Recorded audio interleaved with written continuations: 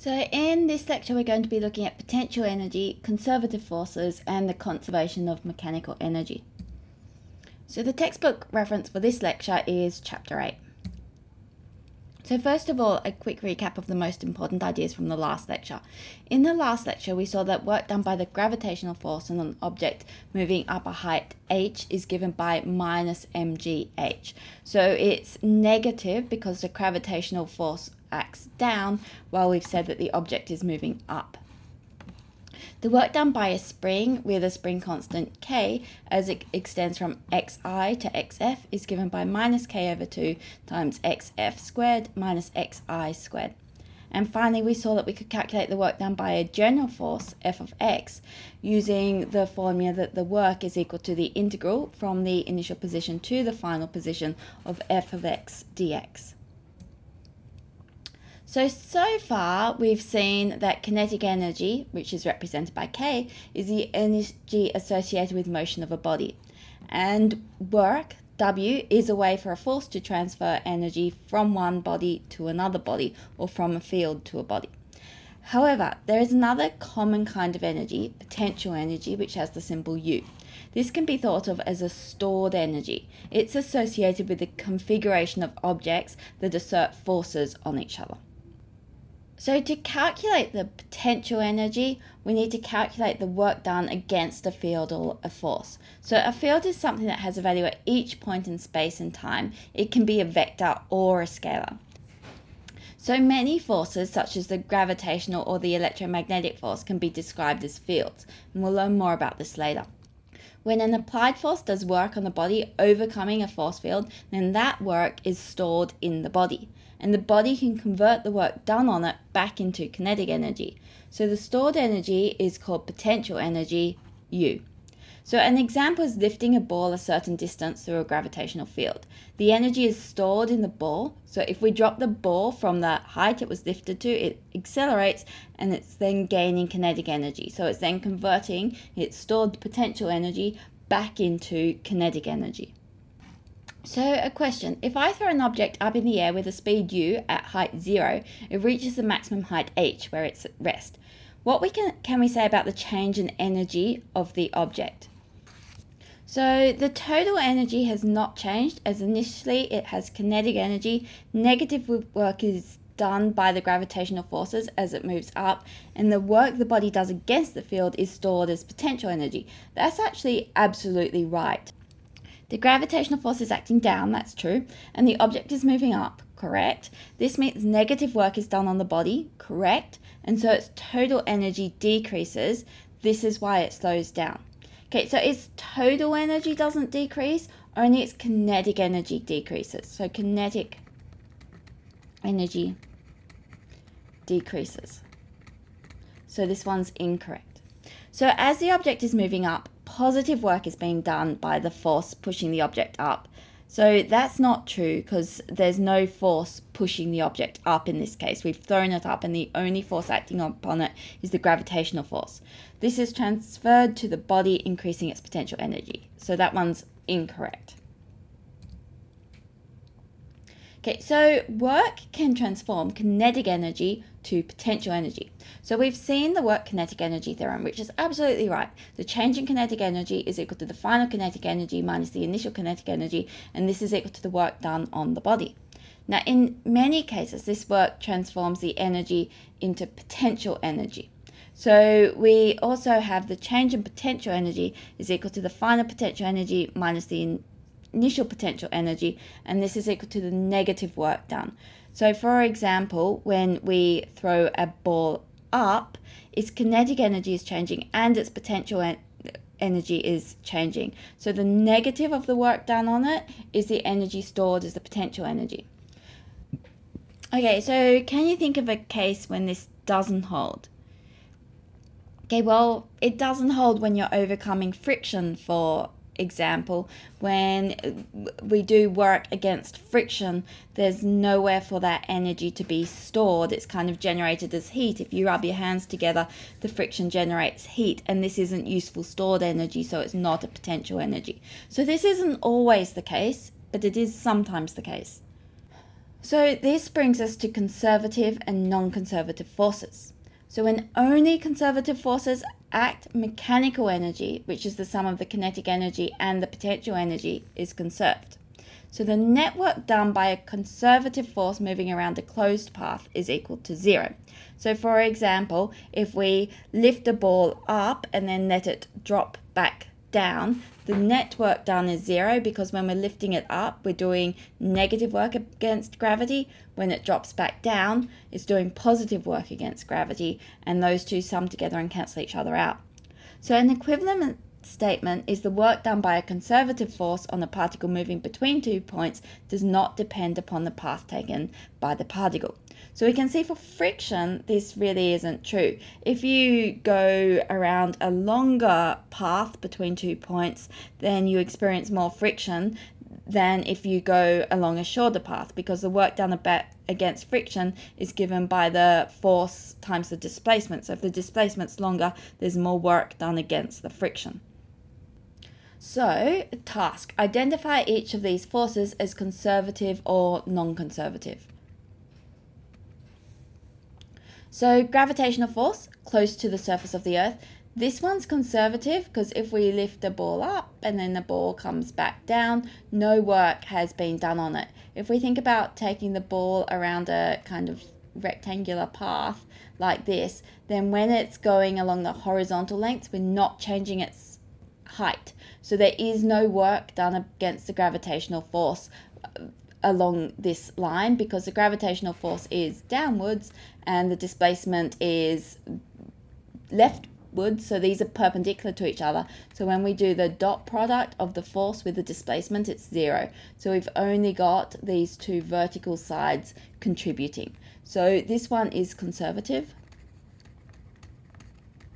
Okay friction this is non-conservative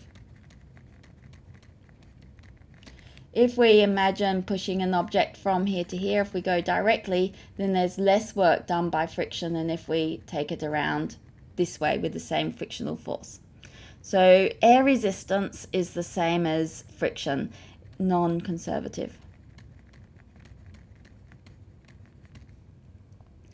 And a spring force, so this is described by Hooke's law, this one's actually conservative. Okay, so for conservative forces, the potential energy is equal to the negative of the work done. So we can write that the change in potential energy is equal to minus the integral from the initial position to the final position of f of x dx. So we can use this to show that the gravitational potential energy is given by u is equal to mgy and that the elastic spring potential energy is given by u is equal to a half kx squared. So we'll, let's do that now and then we'll discuss how we define our zero points in these systems. Okay, so let's use this to show the gravitational potential energy is given by this expression. Now to do this, we will need to think about our zero points. So let's define the ground down here as y equals zero, and we'll consider moving something up to a height y equals h above the ground. Now the force, the weight force that we need to overcome as we do that is mg downwards. And so we can say that the change in potential energy, which is the final potential energy minus the initial potential energy.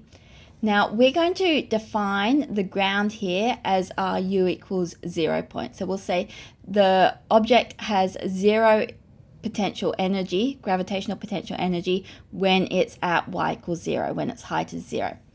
And this is equal to using this equation, we're going from 0 to height h of f of x. So in this case, the force is minus mg times dy. And so we can integrate this and we've got mg y and we evaluate that at 0 and h. So this is equal to mgh. So taking the initial potential energy here as 0, this tells us that the final potential energy U is equal to mgh, which is how we get this expression here. Now let's picture what happens with a spring. So let's have a spring with a mass on the end here. And in this diagram, the spring is at its equilibrium position. So we're going to define this as x equals zero. And then what we'll do is we'll stretch the spring. So we're moving it out to some distance x like this. And we'll calculate that the work we need to do to extend the spring this way. So to do that, we can once again say delta U is equal to U final minus U initial, which is equal to minus. Now we're going from X equals 0 to X, and the force on the object is back this way, that's the spring force, so the, and it's given by minus kx, and the displacement is dx. So integrating this, we end up with kx squared on 2 from 0 to x, which is equal to kx squared on 2. So this is equal to the final potential energy minus the initial potential energy. Now, if we take this initial potential energy as zero, then we've got, so this is zero, then the final potential energy is equal to kx squared on 2, where x is the extension there from the equilibrium position. So you can see it's gaining potential energy as we extend the spring. So conservation of mechanical energy, this is really important. When only conservative forces act, we've got the, the change in kinetic energy is equal to negative the change in potential. We know that because the change in kinetic energy is equal to the work done, and the change in potential energy is equal to the negative of the work done. So this tells us that the final kinetic energy minus the initial kinetic energy is equal to negative the final potential energy plus the initial potential energy. So we can say that the final mechanical energy, which is the final kinetic energy plus the final potential energy, is equal to the initial mechanical energy, which is the initial kinetic energy plus the initial potential energy. So another way to say that is the total mechanical energy is conserved. The change in mechanical energy, which is the change in kinetic energy plus the change in potential energy, is equal to zero. So to practice using this, homework set 2 for 1A questions 9 and 11, for higher 1A questions 11, 13, 14 and 16. So in this example, we've got a slide which is 20 meters above the ground. So let's draw a little diagram here. Here's the slide and this height is 20 meters. The slide makes an angle of 45 degrees with the horizontal, so theta is equal to 45 degrees.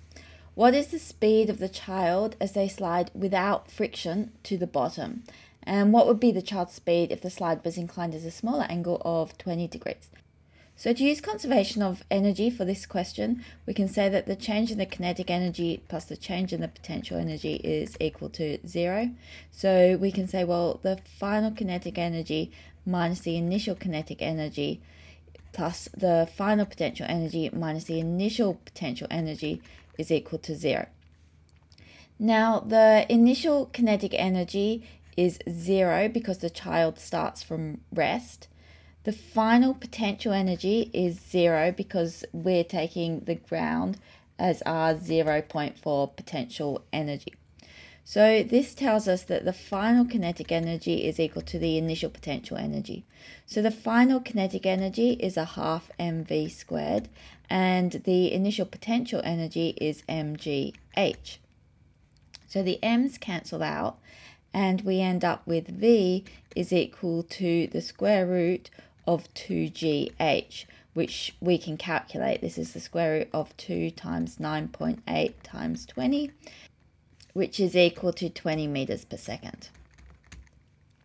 Now, this is completely independent of angle. If it was at a shallower angle, then because we haven't changed the height above ground, it would be a longer slide, but the speed at the bottom would still remain the same. So independent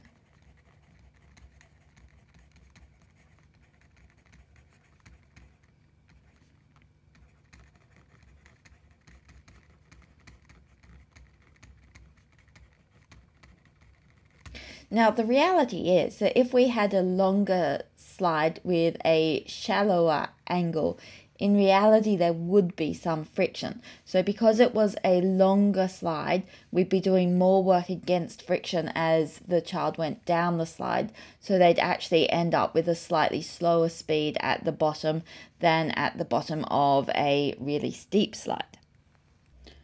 Okay, so we've seen how we can get from the applied force to the change in potential energy, but we can actually get back the opposite way as well.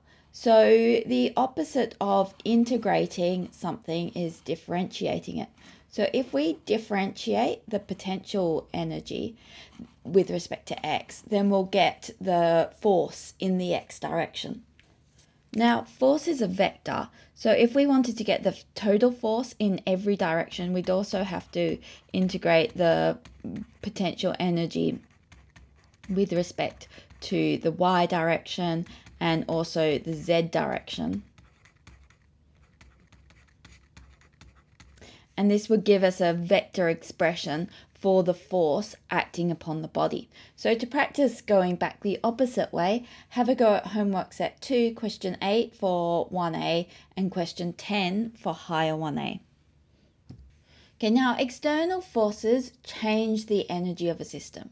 So if we consider a system with no non-conservative forces acting, then an external force acting on the system is going to change its energy as it's doing work on the system. And we said when we do work on something, we're giving it energy. So this force, the force doing the work, transfers energy in the form of work into the system. So the net work, so we could write net here if we wanted, the net work done on the system by external forces is equal to the change in the potential energy plus the change in the kinetic energy, which tells us that if there are no external forces acting upon a system, then the mechanical energy must be conserved as this cannot change unless there's an external force acting upon the system. Now, friction actually decreases the mechanical energy of the system because friction is a non-conservative force. So when friction acts, if you rub your hands together, friction's acting and your hands heat up. So friction actually converts the energy into thermal energy. So thermal energy is associated with random movement of atoms and molecules in a system. We'll be learning more about this in the thermal physics topic. And friction results in thermal energy. So the work done by an object against friction is given by the work done against friction is the frictional force times the distance and that is converted into thermal energy which is generally not a useful form of energy. So this has got the opposite sign of the work done by the frictional force. So the work done by the frictional force is negative. The work done against the frictional force is positive. So we can then write if we've got an external force acting upon the body, the total work done by the external force is equal to the change in mechanical energy. So this, this work goes into mechanical energy and it can also go into thermal energy. Okay, so let's picture what's going on here. Imagine that we have a block here and we're applying some force F to it. So this applied force is an external force which is doing work on the system. So it's adding energy to the system. So this applied force is going to start the block moving, giving it some kinetic energy.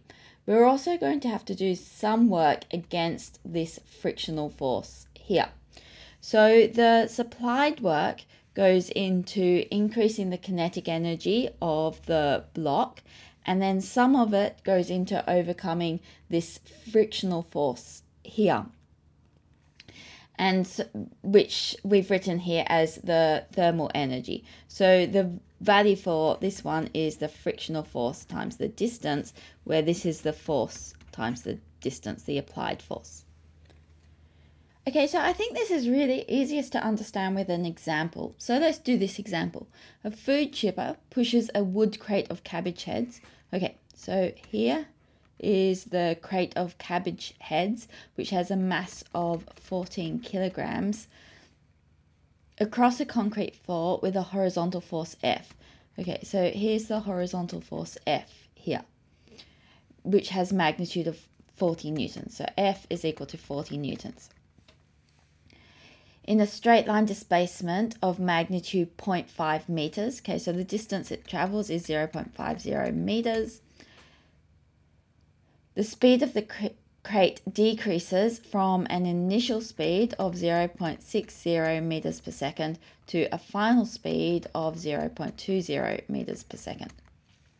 And part A says how much work is done by the force F and on which which system does it do the work. Okay, well F is pushing the crate, so it's doing the work on the crate.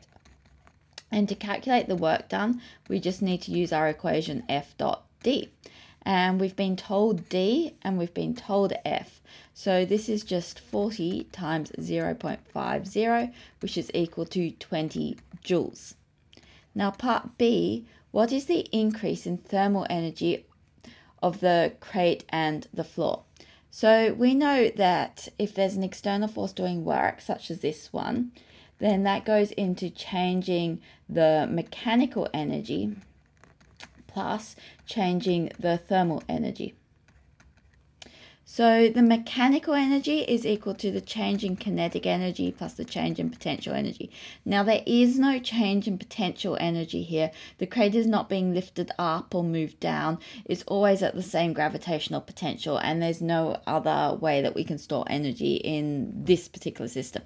So this part is zero, so it's just the change in kinetic energy. And then we've got the change in the thermal energy. So we can rearrange this and say, well, the change in the thermal energy is equal to the work done minus the change in the kinetic energy. So we've calculated the work done, it's 20 joules, and then the change in the kinetic energy, that's a half mv final squared minus a half mv initial squared. So we can write this as 20 minus a half times m. I'm pulling the half and m out as common factors. And then I've got my final velocity squared, which is 0.20. And I've got my initial velocity squared, so 0.60 squared. And so solving this, I end up with 22 joules. So it's gaining 22 joules of thermal energy. So part C then asks what is the coefficient of kinetic friction between the crate and the floor? So this 22 joules goes into work overcoming that frictional force. So I've got that my thermal energy is equal to my frictional force times the distance, and that's equal to mu k times mg times d.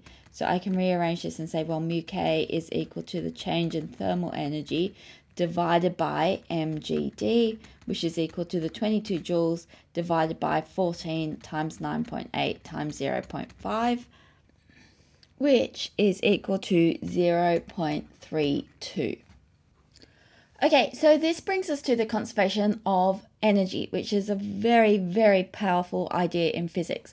So we can say that the total energy E of a system can change only by amounts of energy that are transferred to or from the system. I mean, that makes sense. If you want to change the energy in a system, you have to give it energy or take it energy take energy away. And the only way that we've learned about so far to transfer energy to a system is by doing work on it. So when we do work on the system, so this is an external force doing work on the system, then the change of energy of the system is equal to the change in mechanical energy of the system plus the change in thermal energy of the system. So that's um, things like work done against friction plus the change in the internal energy of the system, which we will learn more about in the thermal topic. So this is ways that the system has of internally storing energy. So we can say that the total energy of an isolated system, so an isolated system is one on which no external forces is acting, cannot change because this work done is zero. So zero is equal to the change in the mechanical energy plus the change in the thermal energy plus the change in the internal energy. So this is the law of conservation of energy. Okay, so this is the same problem that we saw at the end of the last lecture, but possibly we'll do it in a slightly easier way this time. So we've got a block with mass m, which is at the top of the slope. It's released with an initial speed vi, at, and the plane is at an angle theta. There's a coefficient of kinetic friction between the block and the plane of mu k, and after sliding a distance d down the plane, so it slides this distance d, till it's up against this spring. The block collides with the spring with spring constant k and compresses it a distance x. Okay, so this then compresses a distance x. So part one says taking u equals zero as the gravitational potential energy of the block when the spring is fully compressed write an expression for u initial, the potential energy of the block at the top of the slope. Okay, so we know that the potential energy is given by mgh. So all we need to do is work out, well, how high is the block at the top of the slope? So we want the distance between there and here. So this is h, and this angle in here is theta, and it's slid down the distance x plus d. So we can say, well, sine theta is equal to opposite, which is h, over the hypotenuse, which is x plus d. So this tells us that h is equal to x plus d sine theta. So we can write, well, u is equal to mg x plus d sine theta. Now, part two says write an expression for the potential energy of the spring when it is fully compressed. So, if we take the initial potential energy of the spring when it's at equilibrium as zero, then we know that the potential energy of the spring is given by a half kx squared. So, that's the potential energy when it is fully compressed at distance x. Okay, so part three asks us to calculate how much energy has been lost to friction as the block slid down the slope to its lowest point. Okay, so to work this out, we'll need to work out the work done against friction, which is the frictional force times the distance that it slid. Now the total distance it slid is equal to d plus x. So this will be d plus x. And the frictional force that's given by mu k times the normal force times d plus x and the normal force in this case is equal to mg cos theta. So this is equal to mu k times mg cos theta times d plus x. So we can see it's mg cos theta by considering the forces perpendicular to the plane and perpendicular to the plane we've got the normal force up we've got the weight force down and so perpendicular to the plane, these two must balance. If this is theta here, then we've got mg cos theta. So the normal force and mg cos theta must cancel each other out or it would accelerate up off the plane. There is a frictional force, but it's parallel to the plane, so it doesn't contribute here. And so this is the amount of energy which is lost to friction by the block. Okay, so Part 4 asks us to calculate the initial speed of the block in terms of other variables in the question. So to do this, I think it's easiest to consider the energy changes between the initial state up here and the final state down here. So at the end, it's got some final kinetic energy plus some final potential energy. And at the start, it had some initial kinetic energy plus some initial potential energy. And then on its way down, it lost some of this energy overcoming friction. So we'll write that as minus W, where this is the work done against friction. So against friction. So this there's no external forces in this case.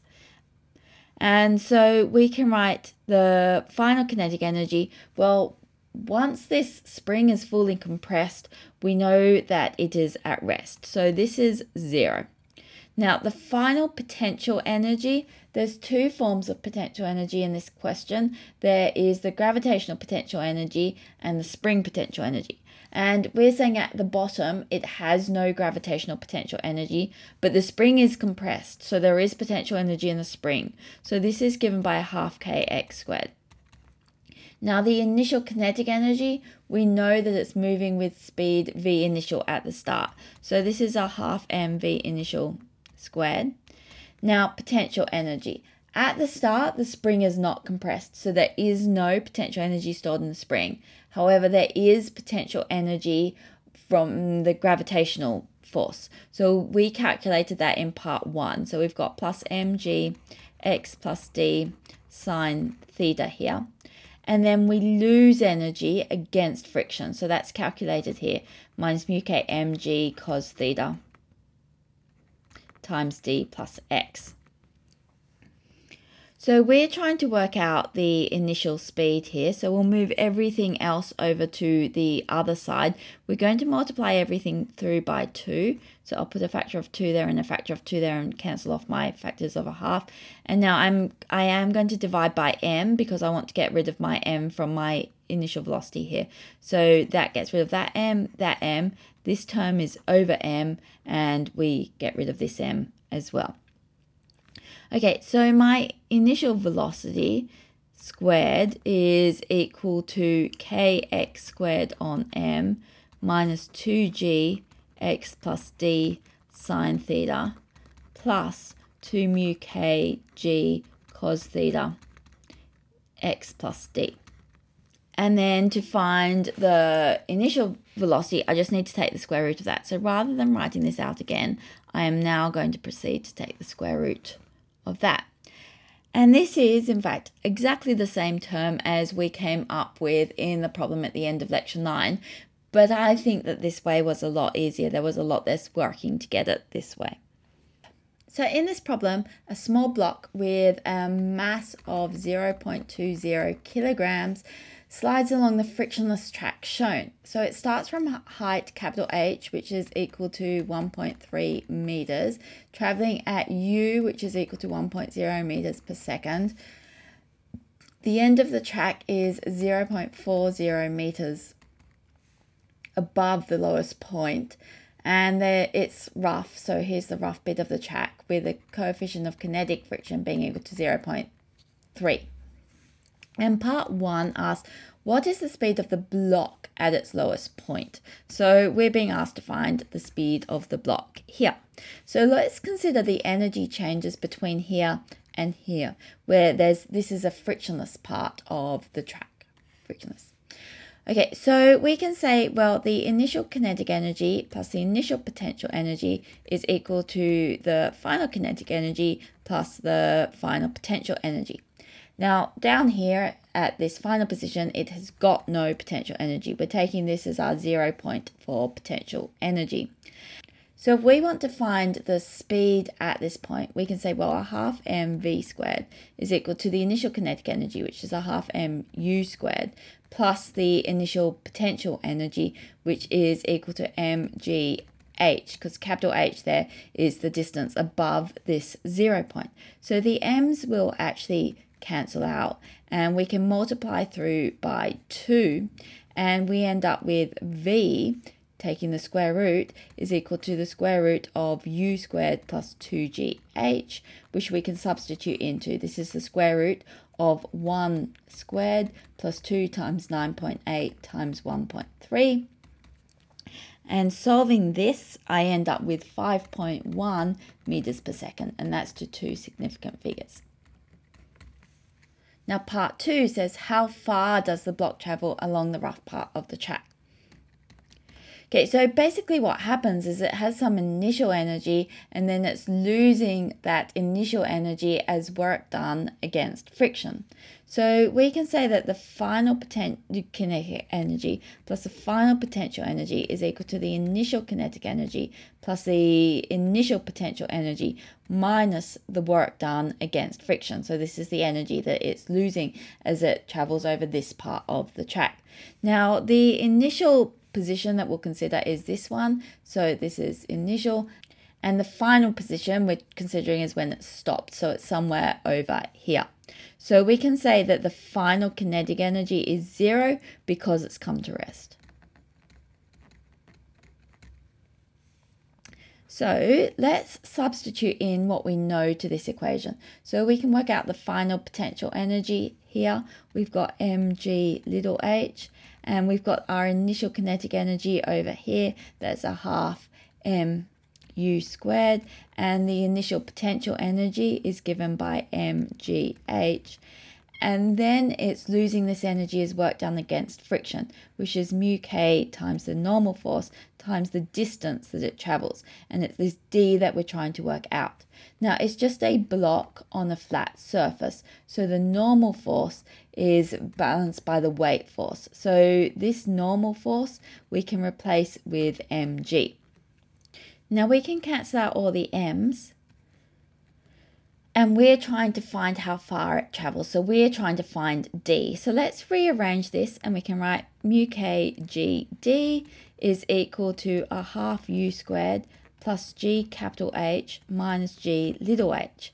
So to rearrange for d, we've got a half u squared plus g, and then this is h minus h divided by the mu kg. Now that's fully simplified, so now we can substitute in our values. So we've got a half times 1 squared plus 9.8 times 1.3 minus 0 0.40 divided by 0 0.30 times 9.8. And solving that, we end up with 3.2 meters. So that's how far it travels along the rough part of the track.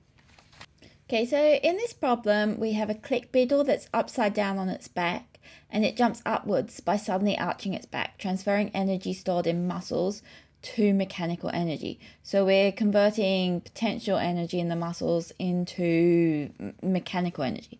This launch mechanism produces an audible click, giving the beetle its name. So video tape of a certain click beetle shows that the beetle with a mass of 4. times 10 to minus 6 kilogram moves directly upwards by 0.3 millimeters during launch. Okay, so while it's launching, the beetle is pushing down on the floor and the floor is pushing up on the beetle, and these two forces are equal and opposite according to Newton's third law. But this is the force which is going to launch the beetle into the air. Once it's in the air, this force is no longer acting. And then we have to calculate the maximum, well, we're told that the maximum height the beetle launches to is 0.3 meters. And we're asked during the launch, what are the average magnitudes of part one, the external force on the beetle's back from the floor. Okay, so the energy which is being converted into the mechanical energy which allows the beetle to move up to a certain height. So let's draw.